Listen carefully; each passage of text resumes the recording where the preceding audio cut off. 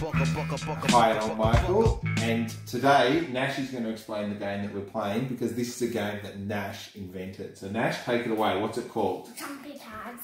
And, and when you jump on a card, you get it, and then you can, and then you can, and then when it's your, and when it's your turn to jump on it, So, hold on, Nashi. What are the cards that we've got in the middle here? one to ten. 1 to 10. So, all the picture cards we've taken out. And then, and then what have you got? A picture card. So, who are you? A joker. And, and, who's, and who am I? A king. Okay, so you're the Joker and I'm the King. And now explain what do we do with our characters? Jump on a card, and then we take it back to our base, and then, and then when, when we finish jumping on um, six cards, then we turn them around and see how many. Um, Points we um, get. Yeah, Beautiful. Do you want to start? Who's going first? you can. I'm going to jump on this one and bring that back to my base. That's one. I'm gonna jump on right there. Here. Okay, which one?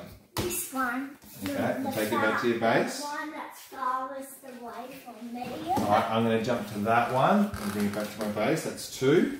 I'm gonna jump to. shot. It's five dimensions, six senses, seven firmaments of heaven and hell. Eight.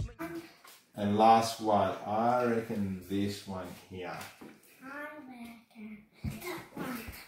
Okay, so now we've got our six cards. What do we do now, Nash? Add up the points on them. Okay, so let's have a look.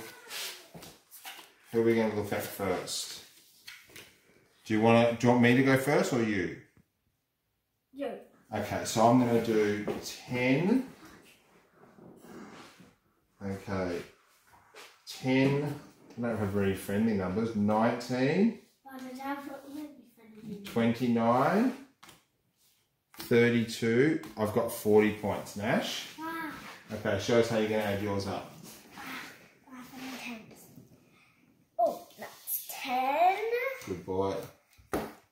Twenty. So hold on a second. So you don't have to add them up in order. You can do whatever. Okay, so you got 20. 29. Um, this game scores last time. Yeah, what have you got? 29. 34. And did I do it in the same way as last time? It, almost the same way as last time. Hey, so that's that's the jumpy game. And actually, do you have to get six cards, or can you make different rules? Different rules. So if you want to make it easier, how many cards could you get?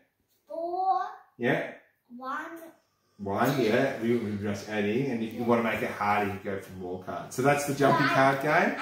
80. Thank you for playing, and we'll see you next time.